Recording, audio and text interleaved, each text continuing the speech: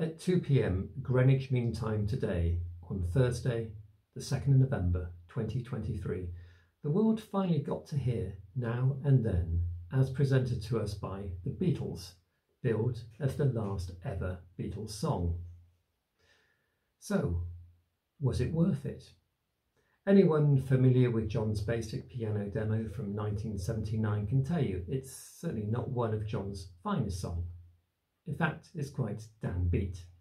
But nonetheless, there is an ethereal, otherworldly quality to this recording, brought more to the fore by the crystal clear cl uh, clarity afforded to us by the AI technology used to, to bring this track to fruition.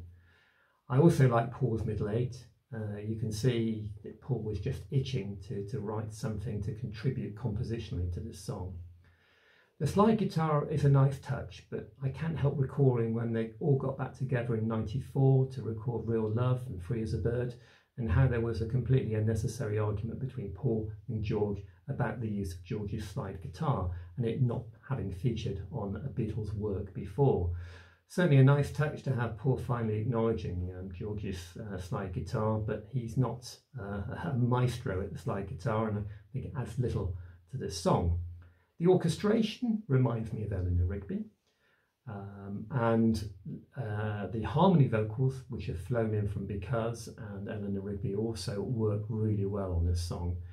I think they've missed a trick in not having John's isolated vocals either at the beginning or somewhere in the middle of the song. Certainly from watching uh, the documentary that aired yesterday, it was extremely haunting to hear John's voice, isolated vocals, uh, for the first time in such clarity. Anyway, this song brings closure for Paul and Ringo and also closure for us all. So, what about the documentary that aired the previous uh, evening? Well, it's another masterly Peter Jackson production, extremely moving. It was fantastic to see the original home movie footage being used so effectively. In terms of the physical versions of the song, well, it's going to be out in vinyl and streamed, obviously. Um, and it's really nice touch to have a cassette version uh, with John's handwritten now and then on one side and Paul's handwriting containing the B side but there's no CD single. And it's a real disappointment if you've uh, got the other two in what we think is a trilogy of, uh, of works now. It's uh, solely missing the fact that um, there's no CD single in this one. Its home uh, in CD format is on the Red and Blue album, but um, it doesn't justify the expenditure um, just for that one track. And it's also not really a fitting home. Um, for the finest works of uh, of the Beatles to put it on the red and blue is a bit of a misnomer really it doesn't really sit well with the canon it should and hopefully will be housed ultimately on anthology 3 which was its originally intended home and I very much hope that uh, all the three anthologies are remastered using AI because it can certainly do with cleaning up and with adding new material.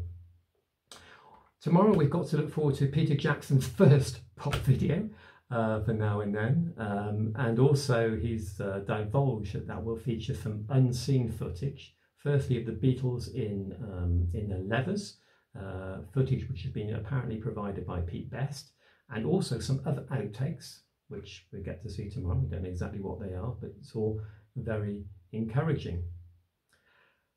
But is this the last Beatles song truly? Well, no. This is really hype more than anything. There's plenty of other material uh, left in the can. Apple has a plan for the next five years. We don't know what it is, but we can only hope. But certainly we know that there's lots of uh, works that not seen the light of day, such as the 14-minute Carnival of Light, and a whole host of Paul and John's early demos for songs such as Bad to Me um, and World Without Love. Also, there's a whole range of material from the uh, Let It Be sessions which haven't made its way out yet. Palace of the King of the Birds, Black Dog Blues, there's so many others, so there's still plenty to come. But my final thought on watching both the documentary and listening to, to, to the to Now and Then today was more of then and what we've lost, and obviously what we've lost in John and George um, not a fitting epitaph to, to either of them, but certainly very much welcome to have this one. And finally, we've got it, and looking forward to more to follow from Apple in the future. See you next time.